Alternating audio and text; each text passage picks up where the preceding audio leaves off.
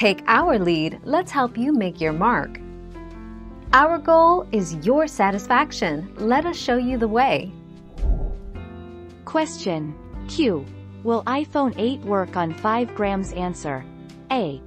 Yes, the phone will continue to work when 5G is released. But iPhone 8 will not be able to use 5G as it does not have a 5G modem in the phone and one cannot be installed.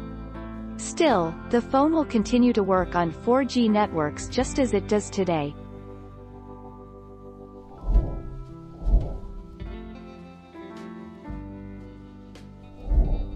Take our lead.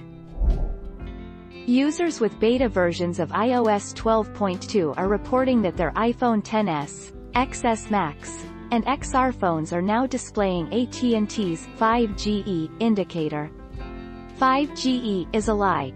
It's a form of 4G known as Gigabit LTE, which is not understood to be 5G by anyone other than AT&T's marketing department.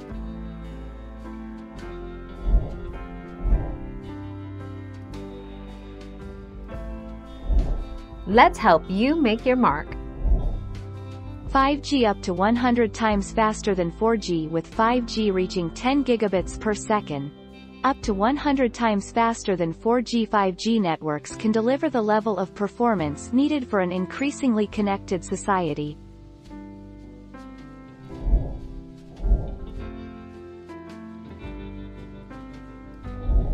Make your mark, take our lead. AT&T customers with an iPhone 8 or newer will now see a new 5GE symbol replace the LTE symbol on top right corner of their phone screen. It's AT&T's LTE Advanced Pro network. Other carriers also have LTE Advanced Pro networks, but haven't renamed them to anything resembling 5G. Thank you for watching. Please subscribe and hit the bell notification.